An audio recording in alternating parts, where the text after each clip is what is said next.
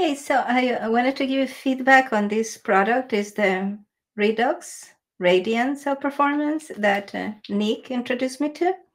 And so this is um, you mix it up in water, and it is a super delicious drink. So what this is is pre-collagen.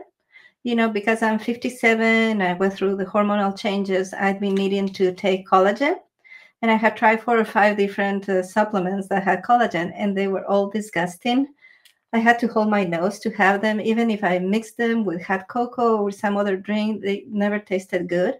And I had to force myself to drink them. But this uh, Redox Radiance is actually pre collagen. So it's not quite collagen, but it is the uh, the ingredients that your body needs to create collagen in your body.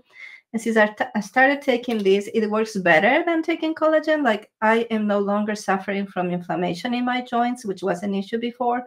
I'm not having any pains. And it is so delicious.